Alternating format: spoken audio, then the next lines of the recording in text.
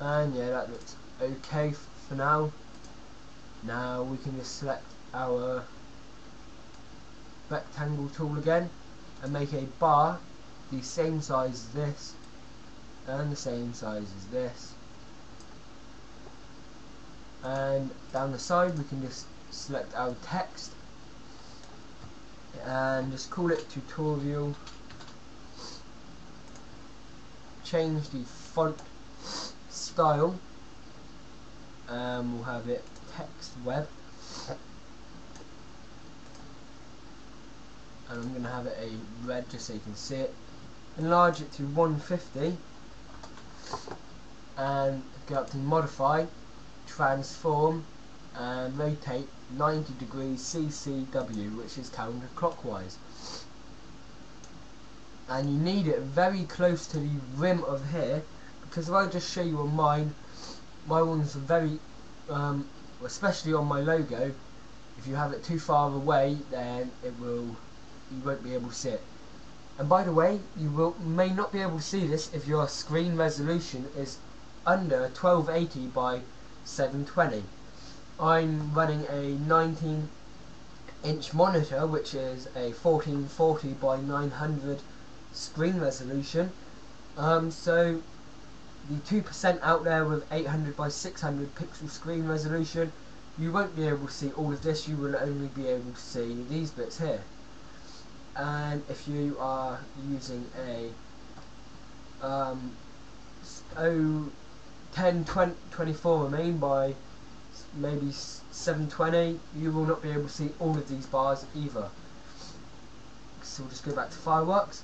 And now if we just go to our um, fireworks folder and wherever we saved our logo we can just drag this now and drop it into here. As you can see that is far too big. So we'll just press Q on our keyboard. Wrong thing. Select select it and press Q on our keyboard and just scale it down. You need it quite small if you want it all to fit on. And now we can just go up to file save as. I always recommend saving a PNG file as well. Tutorial.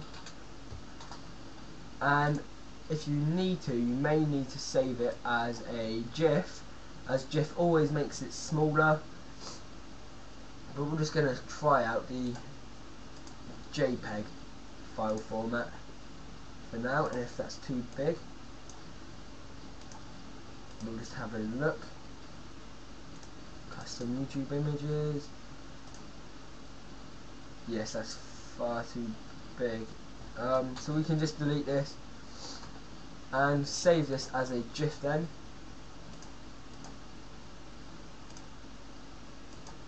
and this sorry if this is a two-part tutorial.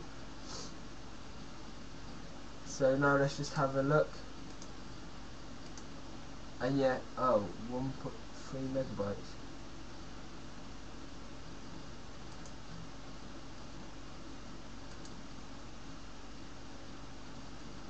Um, some of these styles may take up a lot of room, so I'm just going to delete this big background here. File, save as, and save it as the GIF tutorial. Let's see. That's still too big, so I'm just going to have to delete. We'll just change the style and everything of this.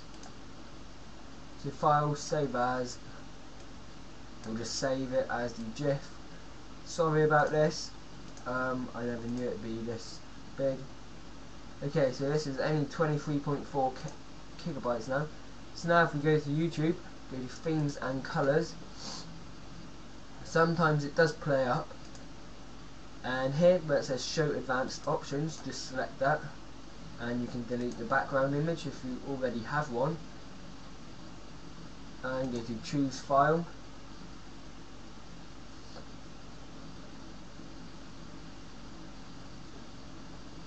and we can just select our background image. I'm not going to save this as I don't want this as my background image but after you can save it and you can also change the general colours of it such as the text, the banner colour up here, the background, transparency, other things like that, the text along here. As you can see mine is white.